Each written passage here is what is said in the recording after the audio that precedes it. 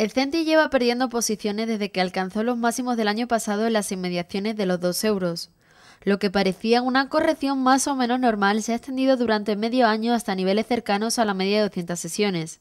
En este promedio vemos la aparición de las compras reflejada en un significativo aumento del volumen y en la formación de una pequeña figura de vuelta de un doble suelo.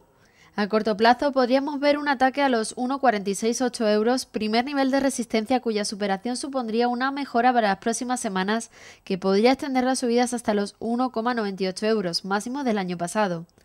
Es vital que cotice por encima de los 1,05 euros, mínimo del pasado mes de marzo.